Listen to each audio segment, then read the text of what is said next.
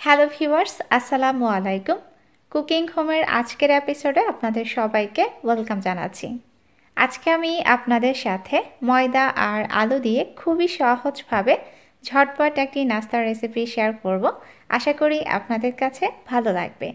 আজকের এই এপিসোড খুবই স্পেশাল এপিসোড আজকের এই এপিসোডে আমরা নয়জন ইউটিউবার একত্রিত হয়েছে নয়টি ঝটপট নাস্তা রেসিপি নিয়ে।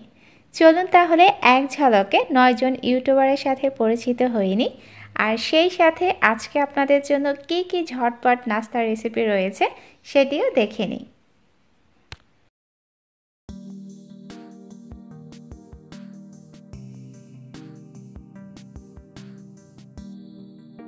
আজকে আমরা নয়জন ইউটিউবারই আপনাদের জন্য নাস্তাগুলো একেবারে সহজভাবে অল্প সময় আর অল্প উপকরণে তৈরি করার চেষ্টা করেছি, যাতে করে আপনারা খুব সহজেই নাস্তাগুলো তৈরি করে নিতে পারেন।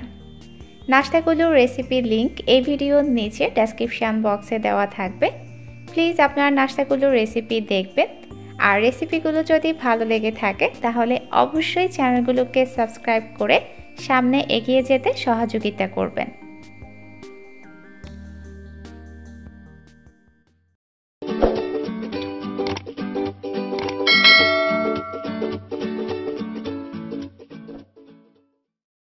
নাস্তাগুলো তৈরি করার জন্য প্রথমে একটি ডো তৈরি করে নিতে হবে।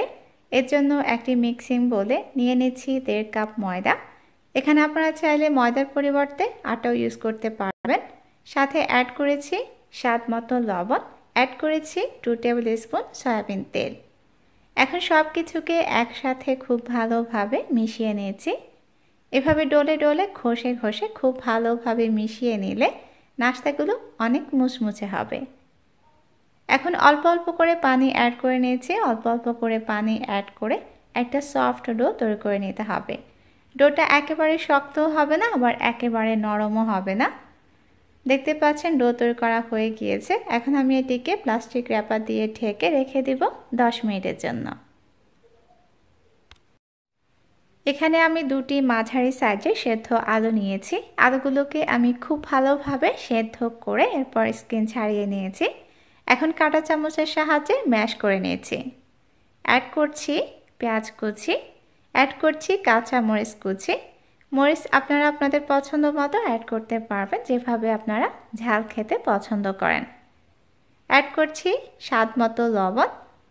এখন কিছু শুকনো মশলা অ্যাড করব। প্রথমেই অ্যাড করে নিয়েছি সামান্য গরম মশলার গুঁড়ো, সামান্য হলুদের গুঁড়ো, সামান্য জিরার গুঁড়ো। অ্যাড করছি হাফ টিস্পুন চিলি ফ্লেক্স এখন সব কিছুকে একসাথে এভাবে হাতের সাহায্যে মেখে নেছি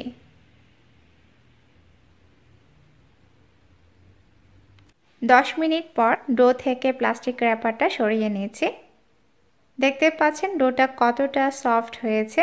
ডোটাকে আমি আবারও খুব ভালোভাবে মথে নিয়েছি।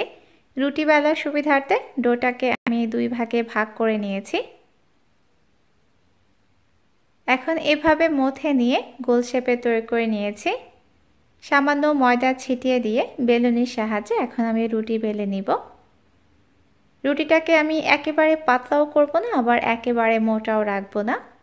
রুটি বেলা হয়ে গিয়েছে, দেখতে পাচ্ছেন রুটিটা কেমন হয়েছে।